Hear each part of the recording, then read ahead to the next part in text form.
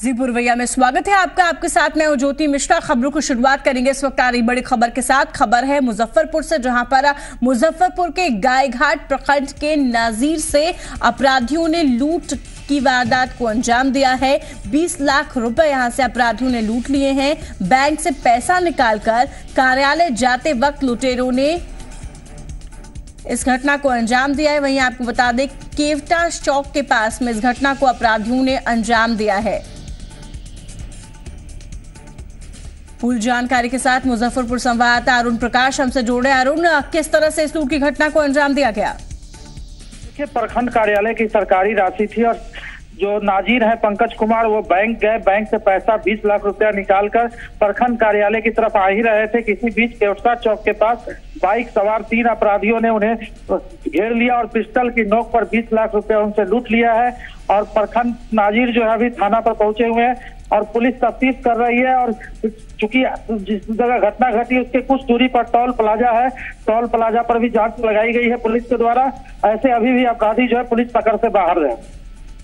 तो अभी भी पुलिस पकड़ से हैं अपराधी और 20 लाख रुपए के इस लूट को अंजाम दिया है अपराधियों ने। शुक्र इस पूरी जानकारी के अरुण, आपका तो खबर मुजफ्फरपुर से, जहाँ पर मुजफ्फरपुर के गायघाट प्रखंड के नाजीर से अपराधियों ने इस लूट की घटना को अंजाम दिया है। बैंक से पैसा निकालकर कार्यालय ले जाने के दौरान इस घटना को अंजाम दिया गया और बैंक से पैसे बीस लाख रुपए निकालकर नाजीर कार्यालय ले जा रहे थे और उसी वक्त लुटेरों ने निशाना बनाया और बीस लाख रुपए उनके पास लेकर फरार हो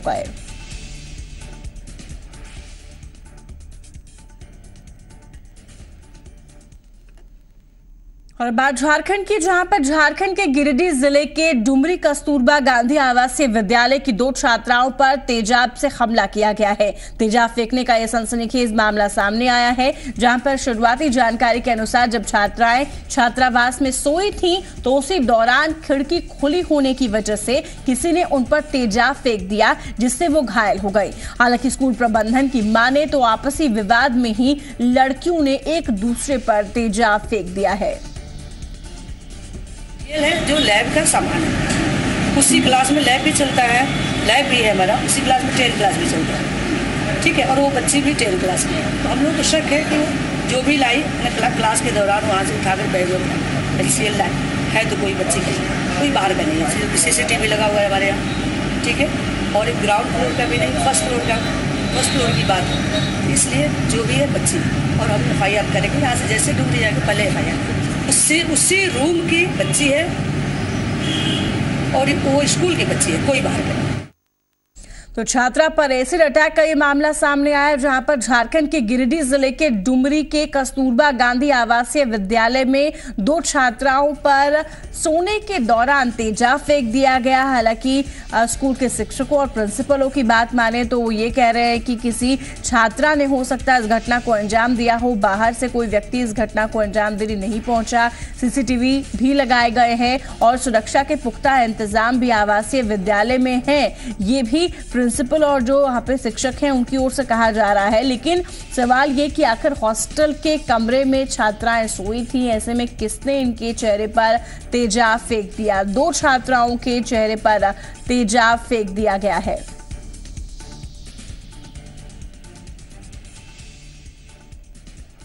तो छात्रा पर एसिड अटैक का ये मामला सामने आया है। गिरिडीह में छात्रा पर एसिड अटैक किया गया है, जिसके बाद से अब, उन दोनों को अस्पताल में भर्ती कराया गया है। दोनों की जो हालत है, उसमें सुधार लाने की लगातार कोशिश की जा रही है। गिरिडीह के डुमरी की एक घटना है, जहाँ पर इस वारदात को अंजाम दिया गया है।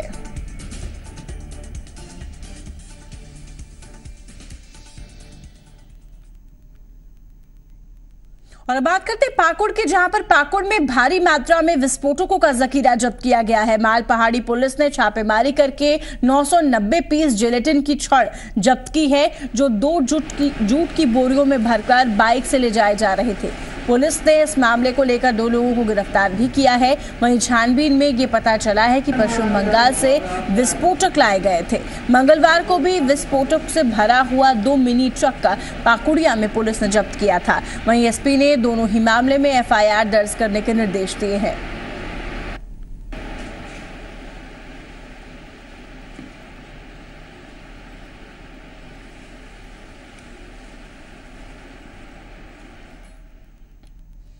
आगे बढ़ते खबरों में। आरजेडी विधायक सरोज यादव की बहन की हत्या के मामले में दो आरोपियों ने आज सरेंडर कर दिया।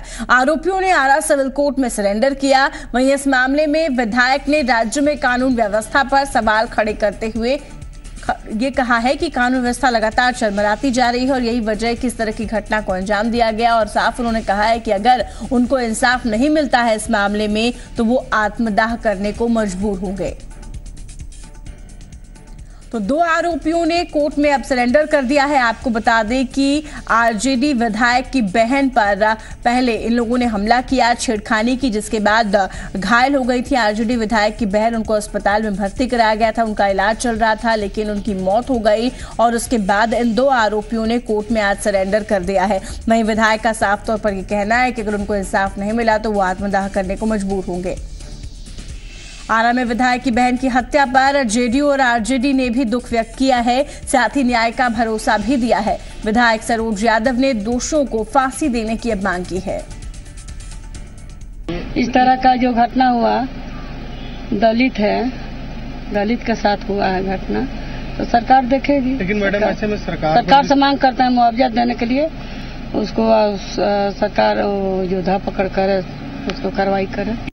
तरह की एक एक घटना पर रोज एब्यूज करना सवाल है ना कि कानून तोड़ने वाले को कानून के हवाले करना, ये बिहार में बरसों से, जब से हमारी सरकार तब से, ये फालतू बात है। एक घटना को इतने बड़े पैमाने पर, हर घटना को वो जो करते हैं, वो राजनीतिक मकसद है। उस सत्यारे को जिसके वजह से मेरे घर में इस तरह की मातम मेरे बहन की घर में मातम चाहिए मैं उसको फांसी दिलवाने के लिए मैं सरकार से गुहार लगाता हूँ और पूरे बिहार की जनता से और पूरे देश की जनता से मैं गुहार लगाता हूँ कैसे हत्यारे को फांसी पर चढ़ाने के लिए आप लोग मेरा मदद करें। पुलिस ने आपका आश्वासन दिया क्या विश्वास है आपको? मुझे पुलिस पे कोई भरोसा नहीं है। मुझे मेरी सरकार पे भरोसा है, मेरी सरकार पे मुझे पूरी उम्मीद है कि यहाँ एसपी के लापरवाही की वजह से हुआ है। मैं मांग करता हूँ अपनी सरकार से कि एसपी को बर्खास्त किया जाए। इधर बिहार की पूर्व मुख्यमंत्री राबड़ी देवी की माने तो बिहार में अपराध के लिए प्रधानमंत्री मोदी जिम्मेदार हैं। राबड़ी देवी ने कहा है कि मोदी जी सामाजिक न्याय की बात करते हैं, लेकिन आरा में दलित की हत्या होने पर भी कोई कार्रवाई नहीं करते। मोदी जी सबके कहते हैं कि हम सबके साथ लेके चलते हैं तो सबको साथ आवाज़ उठाना चाहिए। मोदी जी का कार्रवाई मांग करते हैं हम। कड़ी सरकार कड़ी कार्रवाई करे उस पर धरपकड़ करे छानबीन करे जेल भेजे वो लोग के सजाई करे कि निर्दोष लोगों के बाज़ार गई और लड़की के साथ जो व्यवहार हुआ शादी भी नहीं हुआ है उसका। और आरा में हत्या की वारदात के बाद बीजेपी ने राज्य सरकार पर निशाना साधा है और कानून व्यवस्था को पूरी तरह से फेल कहा है। ये बहुत चिंता का विषय है कि विधायक की बहन से छेड़खानी का मामला है। उसे छेड़खानी का जब उन्होंने विरोध किया तो लोगों ने उस पर रॉड से हमला कर दिया और वो सड़क के किनारे गिरी भी मिली और बाद में उसके अस्पताल में मृत्यु हो गई। इससे ज़्यादा गंभीर मामला क्या हो सकता है? कि राजद के एक प्रमुख विधायक है सरोज यादव, उनकी बहन की मृत्यु हो जाए अपराधियों की चोट से, अपराधियों के हमले से, और वो भी छड़कानी से जुड़ा मामला। तो बहुत ही गंभीर स्थिति है, और अब पूरी पुलिस जो शराबबंदी में लग गई, अब उनको अपराध रोकने की कोई चिंता नहीं है। इसका मतलब है कि उनकी हनक खत्म हो गई, उनका नियंत्रण पुलिस पर से खत्म हो गया। देखिए, हमने पहले भी कहा है कि सरकार के अंदर कानून का राज कायम करने की क्षमता नहीं है। जिस प्रकार के लोग सरकार में शामिल हैं, जिस प्रकार की सोच है सरकार में शामिल लोगों की, उसके आधार पर कानून का राज कायम करना संभव नहीं है। अब तो सत्तारूढ़ दल के विधायकों के परिवार पर पड़ रही है बात। तब उनको बेचैनी बढ़ रही है। आम आदमी मारा जा रहा था, कोई चिंता नहीं थी। और मेरा पूरा मानना है कि ये सरकार बिहार में कानून का राज स्थापित नहीं कर सकती। जिस प्रकार से अपराधियों को अपने बेलगाम छोड़ा हुआ है नीतीश कुमार जी ने तो अपराधी अपना शिकार करेंगे, और शिकार कभी आम व्यक्ति भी हो सकता है कभी खास व्यक्ति भी हो सकता है। और बीजेपी के इस आरोप को जेडीयू और आरजेडी ने एक सुर में इसका खंडन किया। साथ ही कहा कि दोषियों के खिलाफ कड़ी कार्रवाई की जाएगी। एमएलए और एक आम नागरिक हर व्यक्ति के लिए कानून का राज है और हर व्यक्ति को महफूज होने का अधिकार है इस, इस मुल्क में हमारे राज्य में।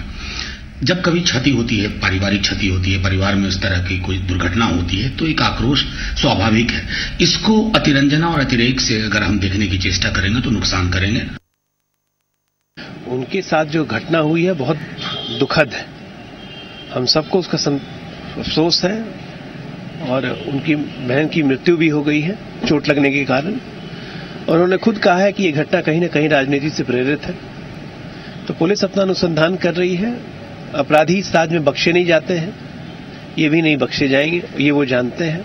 हमें उम्मीद है कि धीरे धीरे वक्त उनके घाव पे मरहम लगाएगा, लेकिन ये ऐसी क्षति है जिसकी कभी पूर्ति नहीं हो सकती है। लेकिन राज्य सरकार और पुलिस अपना काम करेगी। इधर पटना के गोविंद मित्रा रोड में दवा व्यापारी अनिल अग्रवाल की हत्याकांड में सीसीटीवी फुटेज खंगाल रही है पुलिस और इस फुटेज के आधार पर अब पुलिस छानबीन को आगे बढ़ा रही है। वहीं तस्वीरें भी सामने आ गई हैं। इन सीसीटीवी फुटेज की तस्वीरों में आप देख सकते हैं कैसे पहले एक शख्स दुकान की ओर जाता है, फिर दो लोग दुकान में जाते हैं। कुछ देर बाद तीनों एक एक करके दुकान से बाहर निकल जाते हैं। बताया जा रहा है कि इसी दौरान बदमाशों ने इस हत्याकांड को अंजाम दिया। पुलिस ने इस मामले में तीन संदिग्धों को हिरासत में भी ले लिया है। दवा व्यापारी अनिल अग्रवाल की हत्या के मामले को लेकर बदमाशों ने बीते सोमवार को इस घटना को अंजाम दिया था, जिसके बाद अब सीसीटीवी फुटेज पुलिस खंगाल रही है। वहीं आपको बताया कि गोविंद मित्रा रोड में इस घटना को अंजाम दिया गया था। गोविंद मित्रा रोड में दुकान के पास बदमाशों ने इस वारदात को अंजाम दिया और फिर फरार हो गए। इस हत्याकांड के बाद पीड़ित परिवार अब सदमे में है। वहीं अब सीसीटीवी फुटेज के सामने आने के बाद परिवार वालों में कुछ उम्मीद जगी है कि हो सकता है कि पुलिस इस फुटेज के आधार पर अब दोषियों तक पहुँच पाए और पीड़ित परिवार को न्याय मिल पाए। बात करेंगे सुखतारी बड़ी खबर की खबर पटना से, जहाँ पर पटना हाईकोर्ट से बिहार के शराब कारोबारियों को राहत मिली है। शराब का स्टॉक रखने वालों पर कोई कार्रवाई नहीं होगी, कोई दंडात्मक कार्रवाई अब नहीं की जाएगी। इस मामले में अगली सुनवाई की तारीख 19 अप्रैल रखी गई है। तो बड़ी खबर जहाँ पर पटना हाईकोर्ट ने यह फैसला लिया है। पटना हाईकोर्ट ने बिहार के शराब कारोबारियों को राहत दी है। इसके साथ ही शराब का स्टॉक रखने वालों पर अब कोई दंडात्मक कार्रवाई नहीं होगी। वहीं इस मामले में अगली सुनवाई 19 अप्रैल को है। तो शराब कारोबारियों के लिए एक राहत भरी खबर, जहाँ पूरे शराब में बता दें आपको कि पूरे बिहार में ड्राई स्टेट घोषित कर दिया गया है। शराब रखने को लेकर दंड दिया जा रहा है इसको लेकर कानून बना दिया गया है। ऐसे में एक अच्छी खबर कह सकते हैं क्योंकि शराब कारोबारियों के पास, कई ऐसे बिहार के शराब कारोबारी है जिनके पास भारी भरकम स्टॉक मौजूद हैं और इसी को लेकर पटना हाईकोर्ट ने राहत दी है। पटना हाईकोर्ट से बिहार के शराब कारोबारियों को ये राहत मिली है कि शराब का स्टॉक रखने वालों पर अब कोई दंडात्मक कार्रवाई नहीं नहीं होगी।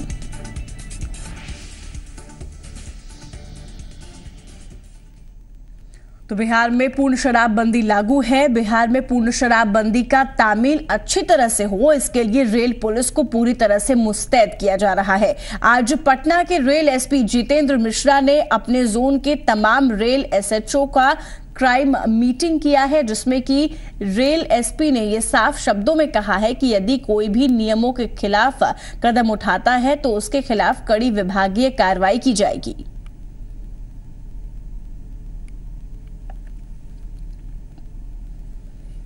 और इधर पटना के कंकड़बाग में एक वैन के पलटने से दो लोग घायल हो गए। घटना के महाल, बता दें कि घटना जो है, वो घटना मलाही पकड़ी मोड़ के पास हुई है, जहाँ पर संतुलन खोने की वजह से एक कुरियर वैन पलट गई और इस हादसे में घायल दोनों लोगों को निजी नर्सिंग होम में इलाज के लिए उसके बाद भर्ती कराया गया।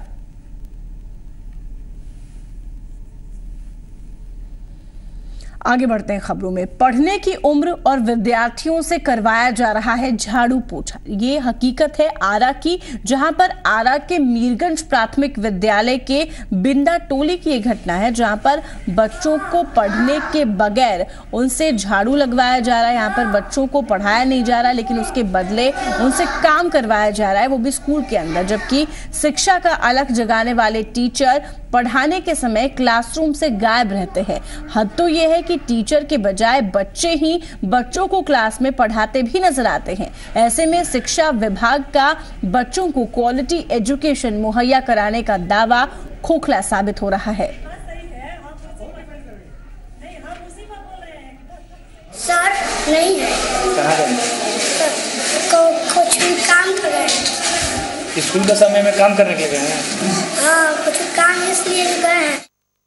देखिए बच्चा लोग झाड़ू तो सरकारी स्कूल में लगाता ही है लेकिन अब ऑफ़िस की बात हम नहीं सहमत है इससे कि हाँ ऑफ़िस के ऑफ़िस में झाड़ू लगाएगा ये बच्चा क्या मानती है दोषी कौन? ऑफ़िस में तो खाना बनाने वाली ही झाड़ू लगाती है। आज लगवाया जा रहा था झाड़ू ऑफ़िस में। कौन दोषी है? तो खाना बनाने वाली ही रोज लगाती है। अब क्यों बच्चे से लगवाए अब सर न पे जो कोई वही न कर हफ़्ता में उनका हाजिरी मास्टर बनावे लन हम कागज़ जगह हाजिरी काट दिले बानी। तो सीएल जोड़े ला लो। अपना से तो बहुत कोशिश कर तनी डाटी दवाई ला। ना मानी लो नू तो आपके हम दरखास्त लिख के डालम झाड़ू लगाने वाले मामले में दोषी किसको मानते हैं? मास्टर को मानते हैं हम। टीचर लोग के मानते हैं। वो लोग लगा रहा है बच्चे लोग से। और बात अगली खबर की सासाराम के करगहर ब्लॉक में बच्चों को पढ़ने के लिए जान जोखिम में डालना पड़ता है और इस कोशिश में कई बार बच्चे जख्मी भी हो जाते हैं। बच्चे ऐसा क्यों करते हैं, ये देखिए इस रिपोर्ट में। सरकार शिक्षा के विकास का लाख दावा करे, लेकिन जमीनी हकीकत कुछ और ही है। बभन बरहेटा गाँव में गाड़िया पहाड़ी नदी पर बना ये बाँस का पुल बच्चों के स्कूल आने जाने का एकमात्र रास्ता है। हम लोग का गाँव में रोड नहीं है और हम लोग चचरी पर चढ़कर पढ़ने जाते हैं। ठीक है सर? हम लोग जाने में कितने लड़के गिर जाते हैं? कापी किताब गिर जाता है। अच्छा से स्कूल नहीं पहुँच पाते हैं और चचरी से गिरकर किसी लोग का गोड़ हाथ टूट जाता है। दो साल पहले ये चचरी पुल भी नहीं था। तब कैसे बच्चे स्कूल जाते थे? शिक्षक की जुबानी आपको सुनाते हैं। ठीक है कि चचरी पथ पे भी बच्चे आ जा रहे हैं। नहीं तो जब बारिश के मौसम में बच्चे एकदम इतना गर्दन तक पानी में लग कर और झोला को हाथ में करते हुए इसी तरह से बच्चे आते हैं। सरकारी योजना को लागू करने के लिए अधिकारियों की लंबी चौड़ी टीम है लेकिन व्यवस्था में सुधार की चिंता किसी को नहीं है। वैसे विद्यालय को चुन चुन करके उनको जोड़ने का प्रयास किया जाएगा। स्कूल की नई बिल्डिंग बन गई, लेकिन बच्चों के लिए रास्ते नहीं बनाए गए। बरसात में बच्चे स्कूल कैसे जाएँगे, इसकी फ़िक्र कौन करेगा? अमरजीत कुमार, जी मीडिया, सासाराम। और अब बात करते एक अच्छी खबर की। ब्लड की ज़रूरत पड़ने पर अब आपको भटकना नहीं पड़ेगा। सिर्फ़ एक मोबाइल ऐप के ज़रिए आपको नजदीकी ब्लड बैंक का पता चल जाएगा और उसका लाइव स्टॉक जो है वो भी आप इस ऐप के ज़रिए देख पाएँगे। तो ऐप के ज़रिए ब्लड डोनेट करने वालों को भी आप मैसेज भेज पाएँगे। कितना कारगर ये ऐप है, ये देखिए इस रिपोर्ट में।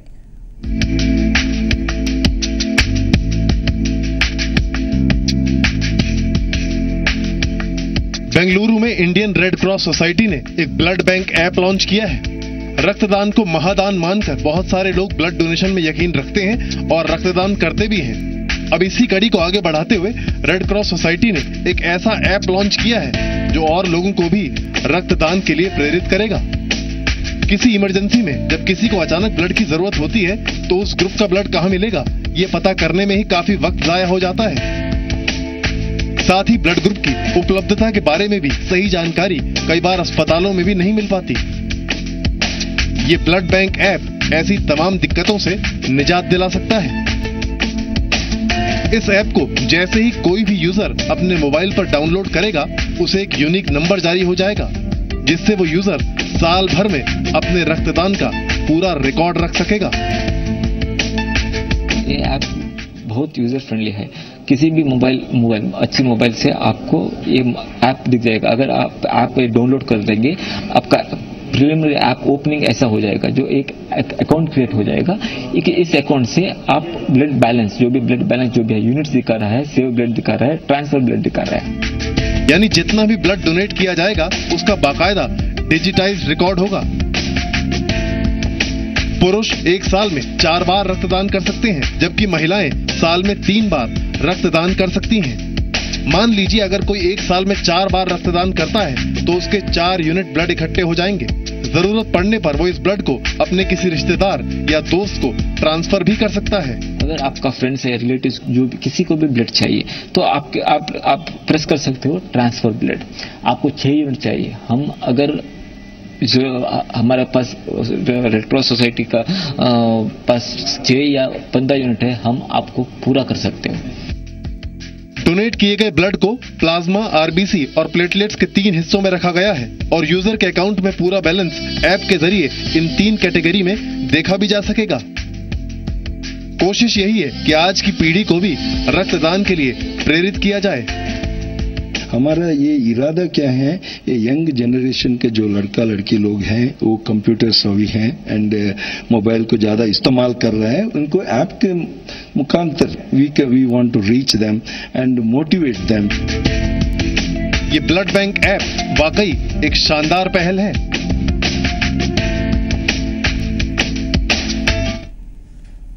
और बात अगली खबर की अब करेंगे जहाँ गर्मी लगातार बढ़ रही है और चढ़ते पारे के साथ सिर्फ़ इंसान ही नहीं, बल्कि जानवरों का भी जीना मुखाल हो गया है। रांची के बिरसा जैविक उद्यान में जानवरों को राहत देने के लिए उनकी रूटीन भी बदल दी गई है। जरा रिपोर्ट देखिए। आसमान से बरस रही है आग। गर्म हवाएँ ढा रही हैं सितम। इंसान ही नहीं, जानवर भी हलकान